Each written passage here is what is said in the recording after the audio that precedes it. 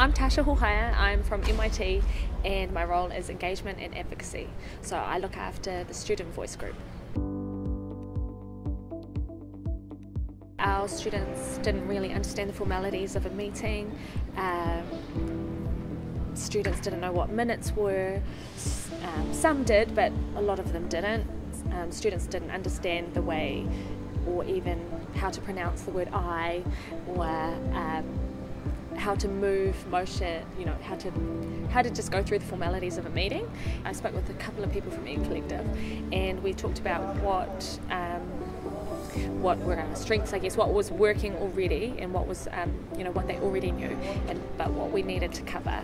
Initially, the student voice group was meeting um, in a really casual manner, and it was basically just over pizza at lunchtime, open to whoever could make it, and we changed that, and so we made it formal. We made um, we made sure that there were minutes and that there were actions that had to be taken before the next meeting, and that made students take it really seriously, and they realised. You know, oh, what we're doing actually matters. Um, I'm going to be accountable for what I've said I'll do, and um, it made a huge difference.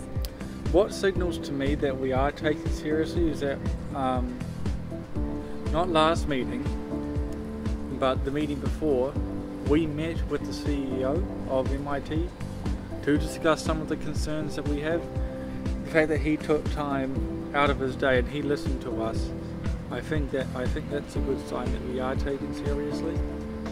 What your group has been uh, shared with us in here is, is a big help because we started to know what we, what question we had to ask, what's our roles here at the school when we meet up with the other uh, executive from, from the school. So how we can put our our needs, talk to them in a, in a language where it's positive, you know, they can see that and, and see a win-win situation. The way um, the Ed. Collective staff ran the, the training, it was just, it was in a formal manner, but it was down to earth. So the students, they knew how to work with students and they knew how to work with young students as well as mature. So the training really helped with confidence levels for our students. Uh, our Pasifika rep didn't really participate as much in the beginning because he wasn't sure about process and how to go about it and how to action things in a meeting.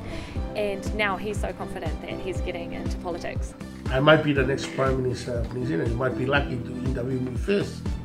You know, students are the biggest stakeholders in a tertiary institute, and so they deserve to be engaged. They deserve to be um, involved in the process, and you, you know, you're always going to get a better outcome if, if the students know that they're, what they're saying matters and it's been considered and um, and it's part of the process, and things change when they say things.